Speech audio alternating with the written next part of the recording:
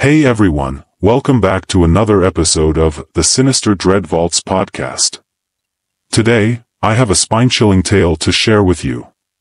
This is a personal account of one of the most terrifying experiences I've ever had as a ghost hunter. We're diving deep into the bowels of an abandoned hospital, where the past's echoes still linger in the shadows. Buckle up, because this is going to be a haunting ride. The air was thick with dust and the unmistakable scent of decay as I stepped into the abandoned hospital. The walls, once pristine and white, were now covered in grime and graffiti.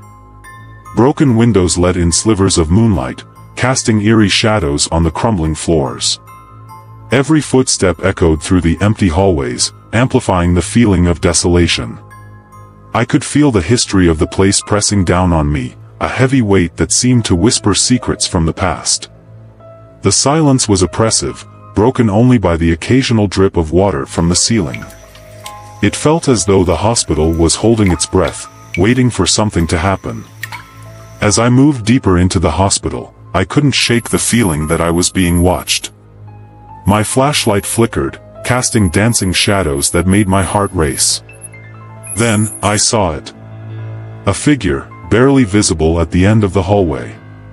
It was a woman in a hospital gown, her eyes hollow and empty. She stood there, motionless, as if waiting for something. My breath caught in my throat, and a chill ran down my spine. This was it, my first ghostly encounter of the night. I tried to steady my breathing, telling myself it was just a trick of the light, but deep down, I knew I was not alone. I decided to investigate the operating rooms, hoping to find some answers. The smell of antiseptic still lingered, mixing with the metallic scent of old blood. The room was filled with outdated surgical equipment, covered in rust and cobwebs. As I approached the operating table, I heard a faint whisper. It was soft at first, but it grew louder, more insistent. It was a child's voice, calling for help. I spun around, but there was no one there. The temperature dropped suddenly, and I could see my breath in the air. The whispers turned into cries, and I felt a cold hand brush against my arm. Panic set in, and I struggled to keep my composure. My flashlight beam landed on an old surgical light, now a grotesque spider web of shadows. The cries grew louder, more desperate, echoing off the tile walls and filling the room with an unbearable sadness. I felt a tightness in my chest, as if the pain and fear of countless patients had condensed into this one moment. The air grew heavy, and I found it hard to breathe, each gasp pulling in the lingering fear of the past. My next stop was the nursery. The sight of empty cribs and peeling pastel wallpaper was enough to send shivers down my spine. I could almost hear the faint sounds of lullabies and the soft cooing of babies. As I walked among the cribs, I felt a tug on my sleeve. I looked down to see a small, ghostly figure of a child.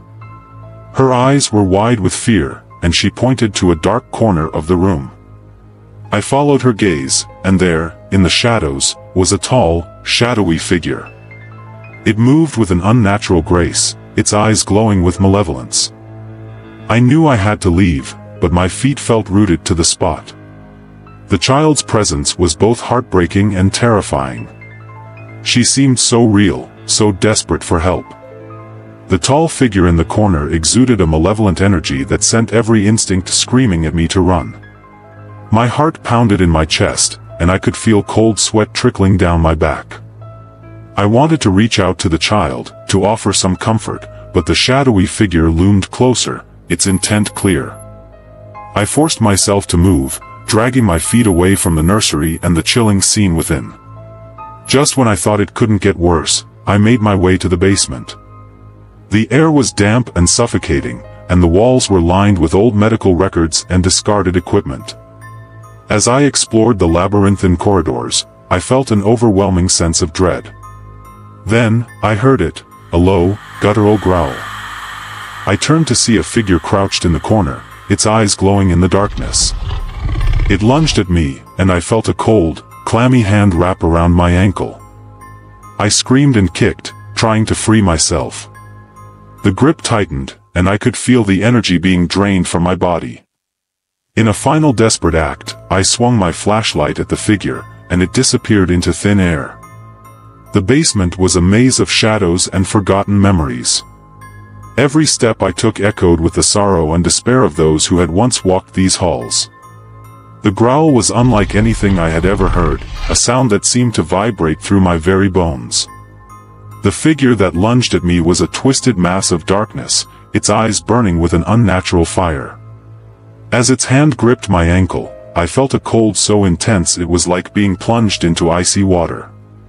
My vision blurred, and for a moment, I thought I might lose consciousness.